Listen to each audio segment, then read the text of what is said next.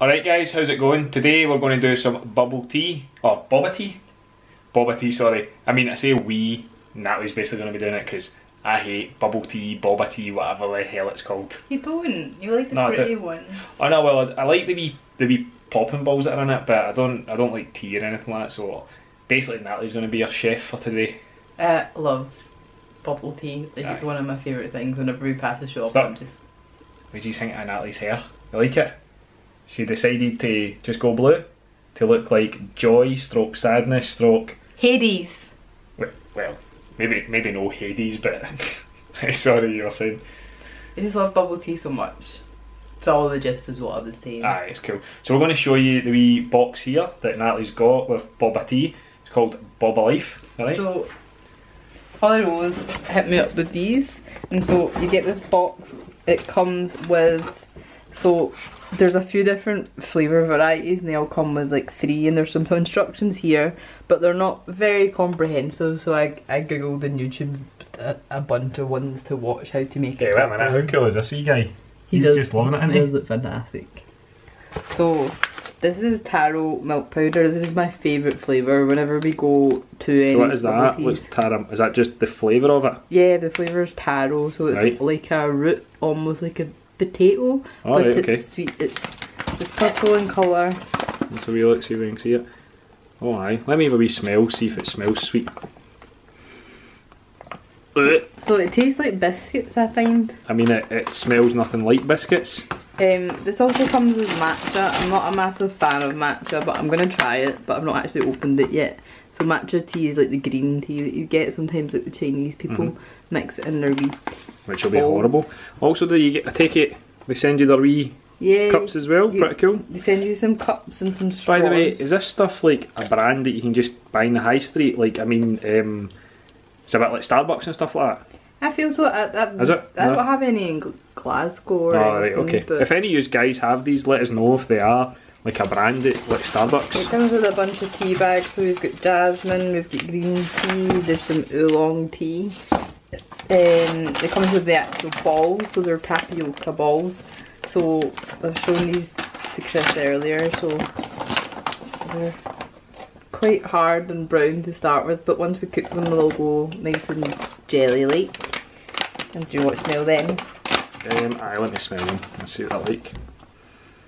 They actually smell okay. They're like very faint. I want to say chocolate, but I don't think it is chocolate. It's just a very faint smell. And I love milk tea, so this is a 3-in-1 milk tea powder.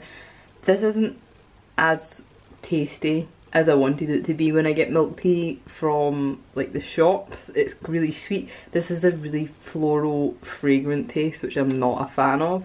So I'm going to be making milk tea later, but I've just popped my own tea bags in the fridge to make my own milk tea. Also, it comes with this, so it's like lychee syrup, which is like a really sweet syrup that tastes so nice. Like, I love lychees. So, you can pop that in with your tea to kind of sweeten it up instead of sugar and that kind of thing, although it is filled with sugar. It also comes with the popping ball, so that's what Chris mentioned earlier. So, it came with strawberry, lime, and honey. And I've not opened any of these yet, so I don't really know what they taste like. But I do love the strawberry and cherry ones when we go buy them. Natalie also surprised me with these vegan Allsorts mega bags. They are amazing. Mine is a gluten. Well, it's got gluten in it, sorry.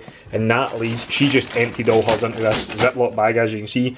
Hers is the gluten-free version, and they're amazing, guys. Honestly, vegan Allsorts. Give them a try. I think for a bag this size, which is 800 grams, was 9.99. 9.99. So it's well worth it. Um, we aren't sponsored by them or anything. It's just Natalie bought them, and we thought they were amazing. So just thought you guys could try them out. So these are your boba or tapioca pearls and inside they look a bit like fish food that you'd feed carp but they smell absolutely amazing. So we're just going to put a few into a pan. It's probably too many but I'm going to make two drinks so it's fine. And then we'll pop some boiling water in there and boil it up for 20 minutes.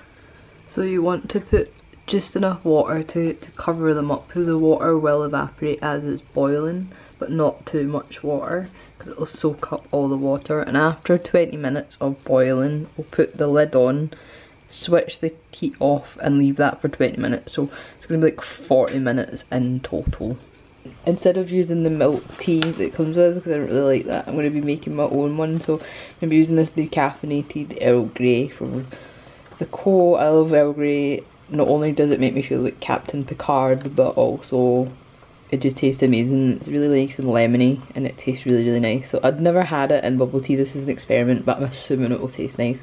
So I'm just gonna brew up two bags of this into my cup and then leave it to cool down nice and cold maybe add some soy milk in and put that in the fridge for later. So that's been 20 minutes. As you'll see they're a bit syrupy and gooey. Chris came in and was giving it all babe your your balls are burning. They're not burning they're supposed to be like this and go a wee bit kind of caramelly. Um, you'll smell they smell quite sweet. So now it's been 20 minutes we turn the heat off and stick our lid on and then leave that for another 20 minutes so that's been 20 minutes so we can take this off and we are left with some lovely syrupy and cooked boba. Now if you're wanting to have a hot bubble tea drink, which a lot of people do have, I quite like a, a milk tea hot but I'm going to have cold ones today. So I'm going to pop these in the fridge but before that I'm going to pop some brown sugar in so let's do that. So we have popped them, I've drained a lot of the liquid out so we're just left with the little boba. And then what we're going to do is I've got some demerara sugar. Brown sugar is best. Um, that's what a lot of the, the Asian kind of side of things. It's an, an Asian based tea and they have like milk tea with brown boba sugar balls and it tastes amazing. So we're gonna put loads in. It's gonna soak all up and stir it in and then pop this in the fridge and I'll see you when it's ready. So everything is now nice and chilled, everything's all nice and cold, so now it's just time to assemble the drinks. Chuck a few ice cubes in and then we'll pour in our tea.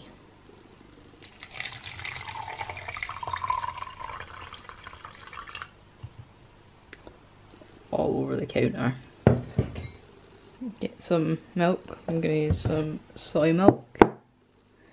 Some people use condensed milk for this, which you can use, but Prefer this. And then just stir it all up. So that's us finished our boba tea. This tastes really good. The boba is so good. You can do it without the brown sugar, but I prefer it with the brown sugar. And there's so many different flavours. This is one that I prefer. Taro is my favourite. Um, it's it's not a hard drink to make. It's very easy to make. There's just a lot of fruity steps, and it's it's taken about four hours to get to this point. So it's not like a quick drink where you can boil a kettle and mix it up. But it's really well worth it. So thanks for joining us, and I hope you give it a bash too and let us know. Bye.